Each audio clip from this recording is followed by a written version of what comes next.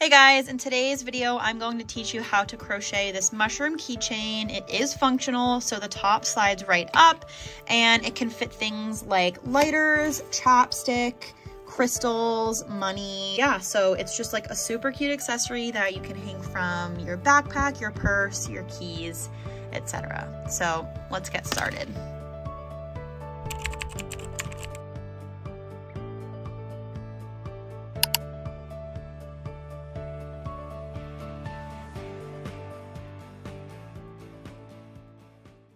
So for this project, you're to need some weight four yarn in two different colors. I'm using this, I love this yarn in the color Ivory. It is acrylic and I'm also to be using this red. You will need a 4.5 millimeter crochet hook, a pair of scissors, and a tapestry needle or a darning needle. And then this is optional, but if you do want to add a keyring to the end of your keychain, you will need one of these little key rings right here. I'll link, uh, I'll link it down below, the one that I get from Amazon, as well as a little D-ring right here, and then a pair of jewelry pliers. For this video tutorial, I'm going to show you how to make the chapstick and lighter size version of this keychain. We do have the written pattern as well, which shows you how to make the longer, skinnier one, which fits things like dab pens, vape pens, lip gloss, etc. So I'm going to be starting with this color here. This is going to be the base of our mushroom. So to start, I'm going to make a magic circle.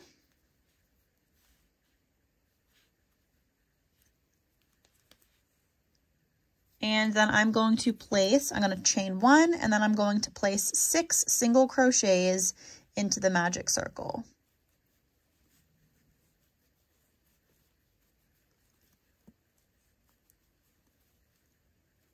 So I have my six single crochets and then I'm going to take this tail and pull it tight. Now I am going to place two single crochets in each stitch around for a total of 12 single crochets.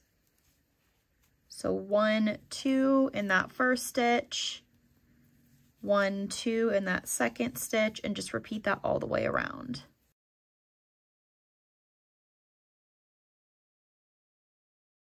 Okay, so next I'm going to place one single crochet in each stitch around. So I will have 12 single crochets. And once you stop here, you're going to see that it's going to start to curve up. So I'm going to take my tapestry needle and weave in this end here. It's going to be a lot easier to do this now than later when we already have the full stem made. So I'm just going to go one way right here, pull that through, skip a stitch, and then just go back one more time to really secure that. And then you can trim this off right here. So you can just kind of get as close as possible and cut that off. Now you can see this is the base of the mushroom and we're going to keep working all the way up. So that was 12. So 140 minus 12 is 128. So we are going to single crochet 128 more times. Okay, so I have single crocheted around 128 more times, so a total of 140 single crochets. I am going to uh, slip stitch into the next stitch, pull that tight, and then I'm going to chain up 19. Okay, so we have 19 chains, and I'm just basically going to look at the opposite side of this right here and slip stitch into that stitch right there. So just make sure you don't twist the chain. I'm going to go right into here, slip stitch. So we've attached this to the other side of the stem, and then I'm going to cut my ends off pull this through right here and then pull that end tight. Now you can take your tapestry needle and weave in that end. And to weave in the ends, I like to do it on the inside so you don't see it. So I'm just to go right in here, go down a couple, skip a stitch and go back up one more time. Then you can take your scissors and just snip that end off. So we have finished the base of the mushroom. See how it has the little um, like handle? This is going to go through the mushroom top. So now you can grab your next color. I'm going to be using red and we are going to start on the mushroom cap. So to start the mushroom cap, you are going to make a slip knot and chain seven.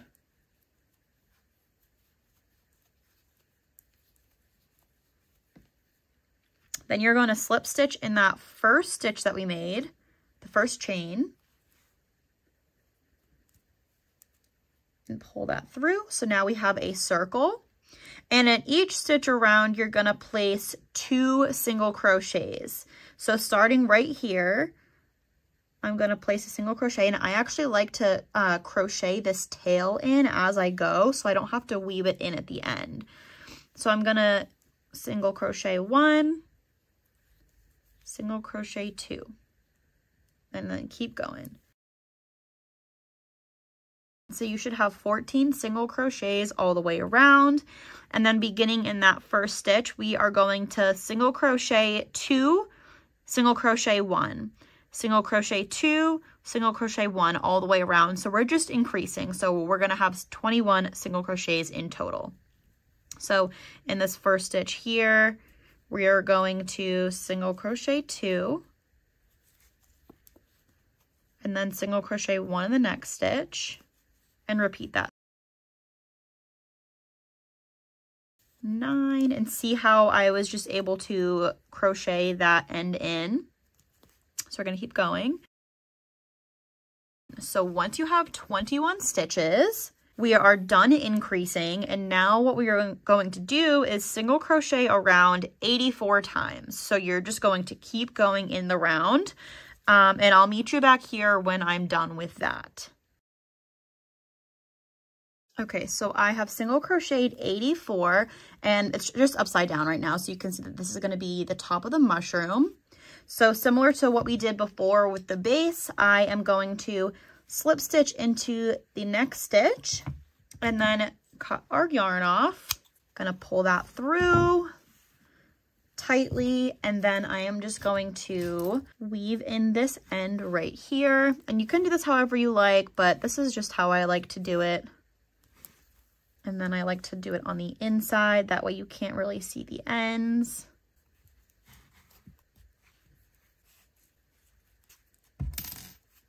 and then you can cut your yarn off. So this is the mushroom top, but we are not done just yet because we want to make those little spores. So you're gonna grab the first um, color that you have, and I like to just, I don't know, maybe about 12 or 14 inches. I like to cut off, thread that through your tapestry needle, and beginning on the inside, we are going to place our needle. I'm just going to skip a couple stitches and go back through that first opening. And then I just like to go over each stitch twice. So I'm just going to go through that one again. And then going up onto another random spot, I'm just going to repeat this process all throughout. I like to do one on the bottom, one on the top, kind of just mix it up a little bit. All right, so once you've made your way all the way around, leaving your yarn on the inside, I'm just gonna flip this out. That way it's easier to tie off the ends. So see how I've kind of made my way pretty close to where I began. I'm just gonna thread this through couple stitches just to get it a little bit closer. And then taking these two ends, I'm just gonna tie off a triple knot. So tying it once, making a double knot, and then a third knot just to be safe. And then you can just snip off this yarn as close to the knot as possible and then flip her back right side out and you have your mushroom top. So now to assemble, you are going to place the mushroom top right through that little chain and pull her tight. So now she's technically done right here. You know, like you could be done right here and then use this to tie onto your bags. I personally like to add a key ring. So I'm going to do that, but this is optional. I'm actually going to be using two pairs of jewelry pliers and I'm just going to take this little key ring and open it up, placing, oh, sorry, this was the D-ring. This is the key ring. And I'm just going to place it right on here and close her up. And she is all done. So now you can just slide the top right up you can put your chapstick in here, your lighters, crystals, money. This is the cutest little accessory for adding to your backpack, you know, hang it from your keys, your purse, really anywhere. Thank you guys so much for watching this tutorial. I hope you enjoyed it. And if you have any questions, make sure to leave them in the comments below.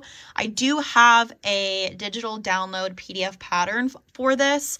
It includes the instructions for this size as well as the longer, skinnier version. And we also have crochet kits on our website too. So we basically send you all of the these materials as well as a copy of the physical pattern.